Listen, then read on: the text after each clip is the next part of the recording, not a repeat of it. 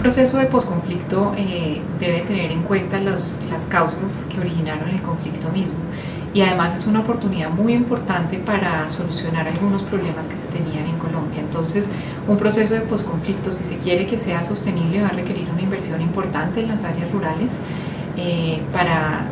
realmente lograr un desarrollo rural en muchas regiones del país que han estado olvidadas por varios años.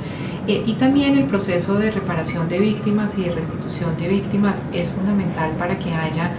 eh, una tranquilidad por parte de las víctimas y para que la sociedad finalmente sea capaz de pasar esta página de dolor que hemos tenido durante tantos años.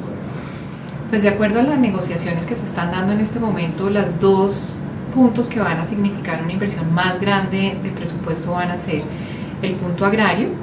eh, el acuerdo agrario de desarrollo rural integral y el acuerdo de víctimas que va a significar la restitución y la reparación de un porcentaje importante de las víctimas. A mi juicio, esos son los dos puntos que van a requerir más presupuesto. Eso no quiere decir que los otros no sean también prioritarios, lo que pasa es que esos dos que acabo de mencionar van a requerir más inversión. Eh, lo que se ha visto en muchos estudios es que el conflicto generalmente ha sucedido en las áreas rurales, entonces serán algunas áreas rurales en donde la guerrilla y los paramilitares han tenido un efecto más importante sobre la población. Estas son áreas que por lo general tienen una ausencia muy grande del Estado